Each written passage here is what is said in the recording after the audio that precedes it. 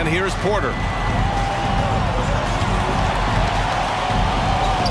Outside, Brown.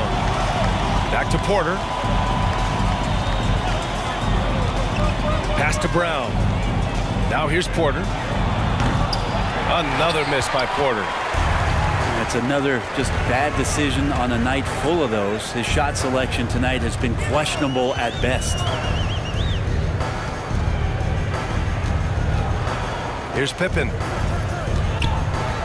Here's Mutombo. Defended by Brown. Five on the clock. And the basket by Mutombo. Coaching staff would like some more shots from that range. Pass to Porter. DeRozan outside. Back to Porter.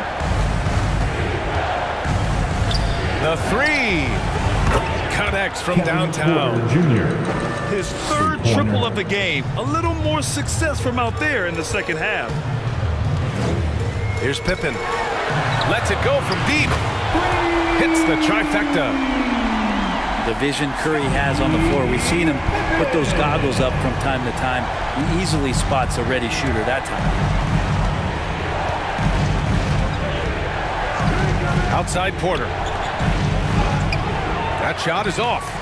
Oh, nice D from Curry.